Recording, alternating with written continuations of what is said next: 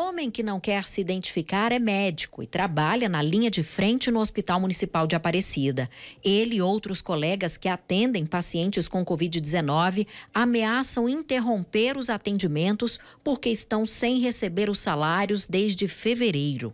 Nós temos trabalhado nessa pandemia há quase um ano já, com 80, 100 horas semanais, ajudando a população de Aparecida de Goiânia com muito cuidado, muito profissionalismo.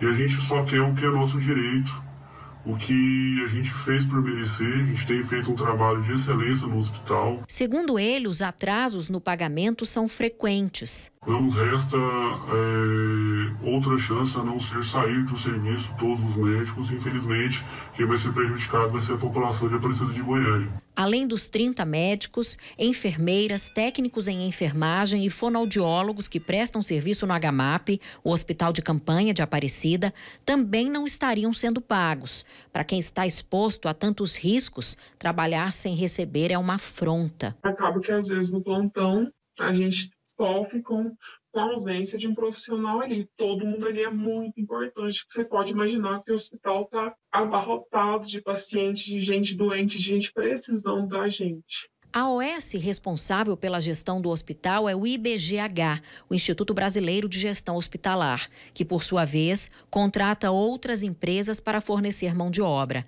A CS Med comunica que o IBGH atrasou o repasse e isso impossibilitou o pagamento dos serviços médicos e da equipe multiprofissional.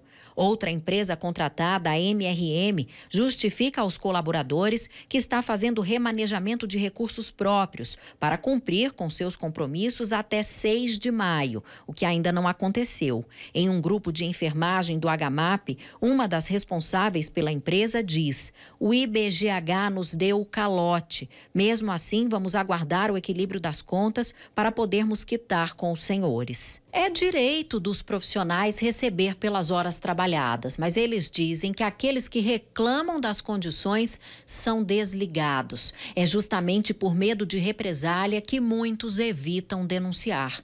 O problema é que a vida dos pacientes internados depende do empenho e comprometimento desses profissionais de saúde, que hoje estão insatisfeitos. Eles dependem da gente 24 horas por dia, todos os dias desde banho a remédio a se alimentar. Eles precisam da gente. Sem a gente, aquilo ali não anda, não, não acontece. Por meio de nota, a Prefeitura de Aparecida informa que todos os repasses ao IBGH estão em dia e que está fiscalizando as denúncias dos profissionais para tomar as medidas cabíveis, caso necessário. Precisa sim fiscalizar, chegar né, nessa empresa e perguntar: cadê o dinheiro né, das pessoas que vocês estão contratando?